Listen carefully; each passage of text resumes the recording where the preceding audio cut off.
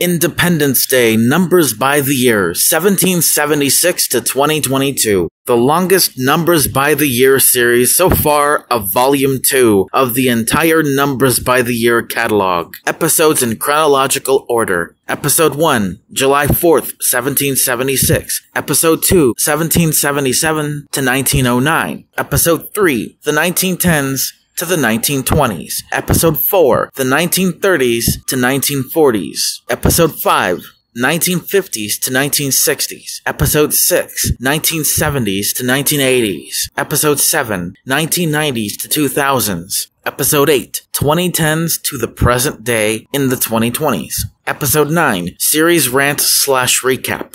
And episode 10, series montage slash finale. Sit back, relax, don't touch that mouse if you're interested enough, and subscribe for future Numbers by the Years content throughout the fall and winter.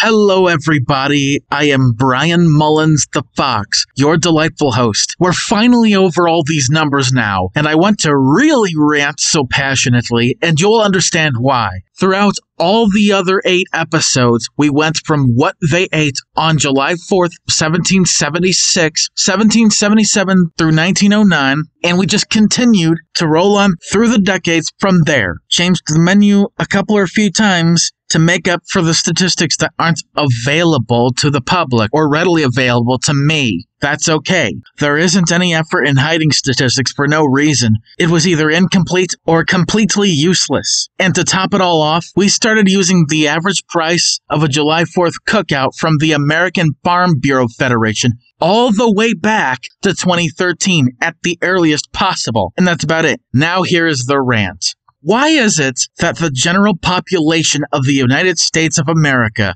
think or even have the nerve to believe that this type of information is quote unquote useless? What is useless to anybody?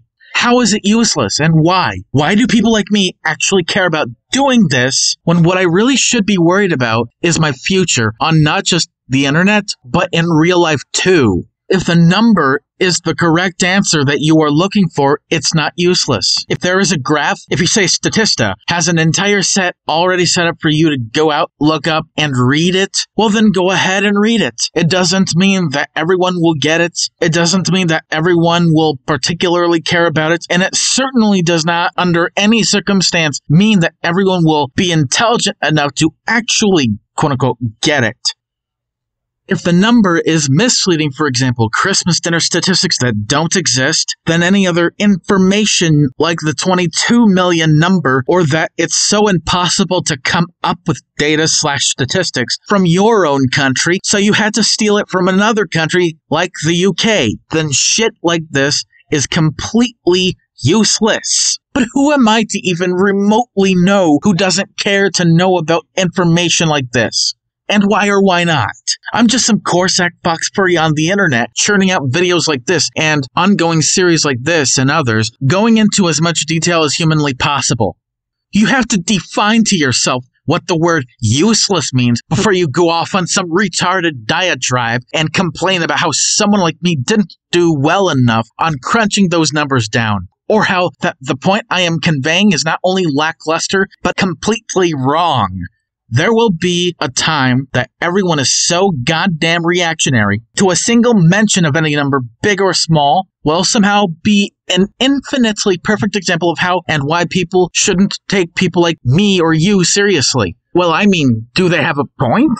They wouldn't necessarily be complaining when the information the person is giving to you and the humble audience is true and accurately reflects reality or that it even accounts for inflation or other factors like that. If they did, maybe they're just biased, or maybe they're just trolling, or what the fuck do I know? I want to be philosophical for a beat and take you on a ride. It's going to be a bumpy one, so bear with me. Would it necessarily be a battle between short hands or small minds or brains? I mean, come the fuck on, really? Imagine data slash statistics in the future being so quote unquote useless in the hearts and minds of so many, even though it's not, that it would be either information that they can't cope with, so they have to deny giving any of it the time of day and the credence it actually deserves, or even worse, do all of that, but not pretend to be willing to accept that they are either completely wrong or they're all liars and hypocrites. Wired debates, conversations, DMs, voice chats, and even Discord chat logs, response videos, and even tweets that fail to rebut anything of quote unquote worth. A thing then. It really tells us a lot about how disingenuous and fake these conversations and quotations really come off as. Jesus Christ.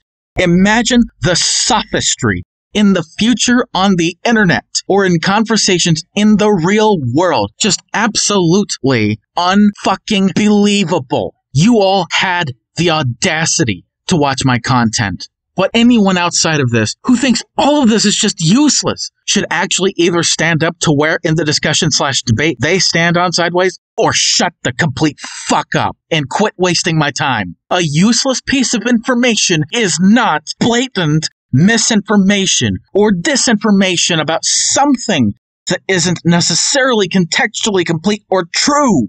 A useless piece of information is a number or point that doesn't have any real need of being used as information nonetheless, nor does it have any useful bearing on reality as it stands. Useless information is not the same thing as a lie. If you spread or share around a piece of useless information, you're either just completely ignorant or completely and blissfully unaware of what you're talking about. Maybe you just weren't paying attention, but didn't care to anyway. Which is fine, right? Yeah, it's fair, I guess. It may very well be true, but you don't care about it enough to fully acknowledge that it is. To everyone you know, or to anyone at all. And that's why useless information is so fun. We don't have to lie to you for cheap clicks and likes on the internet or for a meeting to your pointless career and your pointless financial endeavors in your life in the future. So don't get caught up in these short hands, or else you will truly show just how useful these long arms really are. I have been your delightful host, Bryan Mullins the Fox, signing out.